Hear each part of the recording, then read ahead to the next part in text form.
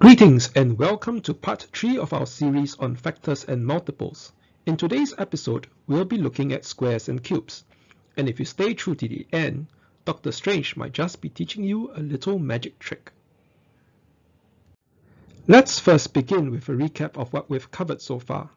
In part 1, we've learned that prime numbers are numbers with exactly two factors, while composite numbers have three or more factors. We've also learned how to find the first 25 prime numbers using the sieve of Eratosthenes, and how to use the ladder method to prime factorize a number and express the result in index notation. In part 2, we've learned that the highest common factor of two numbers is the largest positive integer that divides both numbers. We've also gone through the two steps of finding the HCF, which is to first prime factorize the numbers then to select the lowest index of each prime. Similarly, we've learned that the lowest common multiple is the smallest positive integer that can be divided by both the two numbers. We've also gone through the two steps, which is similar to the steps for HCF, except that now we want the highest index of each prime. The success criteria for today would be for students to be able to first find the square root and cube root of numbers, two to solve problems involving squares and cubes. And a special success criteria for today would be to be able to mentally cube root numbers in your head. Let's begin with the definition of square numbers, which are also known as perfect squares. These numbers are the product of some integer with itself. For example, 144 and 1764 are square numbers. An interesting fact about these numbers is that if you prime factorize these numbers, you can see that the indices of each prime factor is even. When square rooted, these numbers will give a nice whole number. Let's take the square root of 144. What we do is we divide the indices of each prime factor by 2. This gives us 2 square and 3, which multiplies together for 12. Similarly, for the square root of 1764, if we halve all the indices, we will get 2 times 3 times 7, which is 42. Moving on to checkpoint 1. Express these numbers as the product of prime factors and thereafter square root each number. Pause the video here and give this question a good try.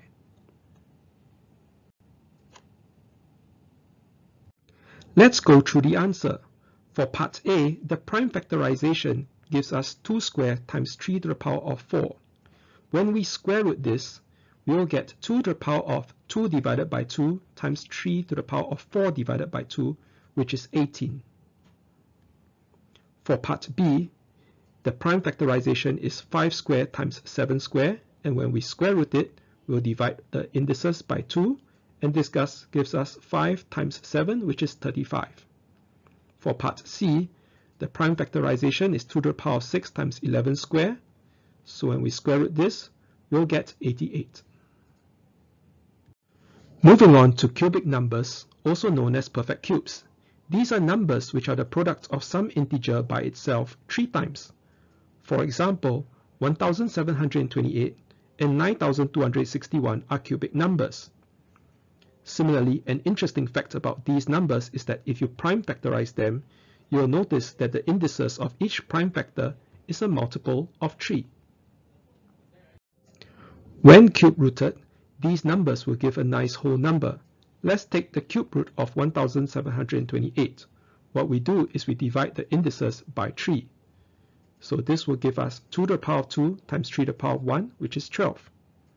Similarly, for the cube root of 9261, we'll divide both indices by 3, and this will give us 3 times 7, which is 21. On to checkpoint 2. Express these numbers as the product of prime factors and thereafter cube root each number. Pause the video here and give this question a good try. Let's go through the answer. For part A, the prime factorization gives us 2 cubed times 3 to the power of 6. When we cube root, we'll divide both the indices by 3, and this gives us 2 to the power of 1 times 3 squared, which is 18.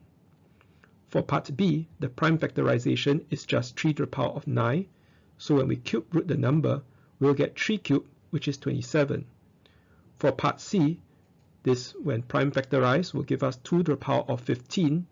And when we cube root it, 15 divided by 3 is 5, so we'll get 2 to the power of 5, which is 32. Did you get all the answers? Let's now look at some problems involving squares and cubes. Problem number 1. Find the smallest integer k such that 6048 divided by k is a square number and separately for part 2 find another value of k such that 6048k is a cubic number. Pause the video here and give this question a good try. For this question, what we can first do is prime factorize 6048 using the ladder method. We will get 2 to the power of 5 times 3 cubed times 7. So we input that and divide it by k and you'll see that to get a square number, we need to drop the index of each prime to the next smaller even number. So for example, 2 to the power of 5 will need to become 2 to the power of 4. Similarly, the powers of 3 and 7 must be 2 and 0 respectively. This must mean that k has to be 2 times 3 times 7, which is 42. We can also check the validity of this answer by testing the square roots with a calculator. And yep, it all checks out. Using the previous prime factorization, now we want a cubic number by multiplying k. So what we'll want to do now is to up the index of each prime to the next higher multiple of 3. So for example, 2 to the power of 5 will now become 2 to the power of 6. Similarly, for 3 and 7, 3 cubed will stay because it's already a multiple of 3, and 7 to the power of 1 needs to go up to 7 cubed. This must mean that k has to be the leftovers, k will need to have a 2 and a 7 square. So that will give us 98.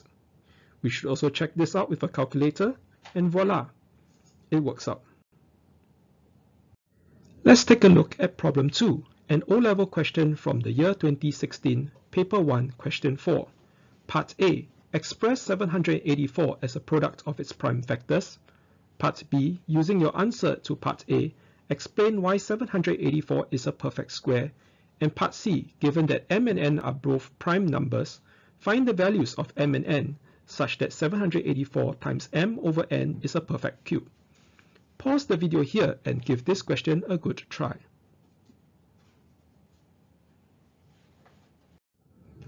For part A, when we prime factorize it, we'll get 2 to the power 4 times 7 squared. For part B, we note that our answer in part A that the indices of the prime factors are 4 and 2. Hence, it has to be a perfect square since the index of each prime factor is even. Lastly, for part C, we need to multiply a prime number m and divide by n to get a cube. So 2 to the power of 4 needs to go down to 2 cube and 7 squared needs to go up to 7 cube since we can only change the index of each prime factor by 1 and we still need to reach indices that are multiples of 3. That must mean that m has to be 7 and n has to be 2. Did you get the answers for these three parts? Now we've reached our bonus material on how to magically cube root a 6-digit number in your head. Let me first outline how this trick plays out. First, we need a friend. Then we give him a calculator and ask them to key in a two-digit number and cube it. Once they read out the number, let's say 658,503, the magician will cube root the number and mentally get 87. How was this done? Pause the video here and try to reverse engineer the steps. And on to the grand review.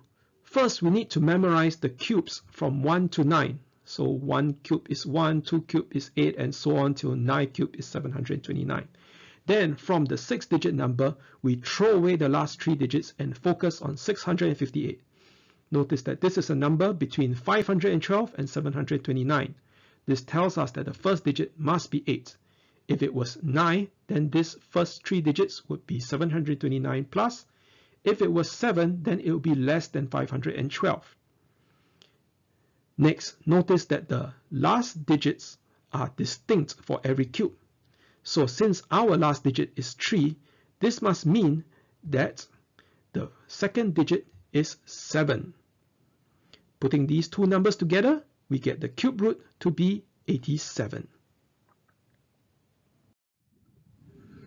Now it's your turn. Give this trick a go.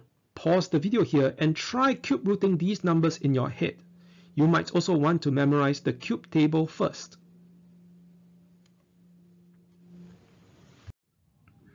Let's go through the answer. So here's the cube table. So for part A, you'll see that if we throw away the last three digits, the first number is 6. That must mean that the first digit is, is 1 since the number 6 is between 1 and 8. And the second digit, since the last digit is 9, it has to end with 9 as well. So this number is 19. So in part B, we throw away the last three digits, we'll get 103 and 103 is between 64 and 125 therefore the first digit is 4 and we look at the last digit the last digit is 3 therefore it has to be second digit 7 so the cube root is 47 for part C we see that if we throw away the last three digits we get 314 that's between 216 and 343, so the first digit is 6. And since the last digit is 2, that must mean that the second digit is 8. So the answer is 68. Before we end, let's reflect on the success criteria that we have set out at the start of the lesson. Are you now able to square root and cube root numbers? Are you able to solve problems involving squares and cubes? Are you now also able to mentally cube root numbers? If you have any questions on this lesson, post them in the comment section below. We have come to the end on this chapter on factors and multiples.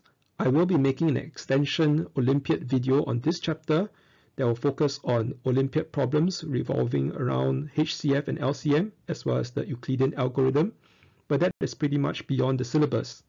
But for the O-level series, this the next episode will continue with the next chapter on real numbers and it will focus on the BODMAS rule as well as the laws of arithmetic. Don't forget to like the video and subscribe to the channel for more math videos. Have a great day of learning.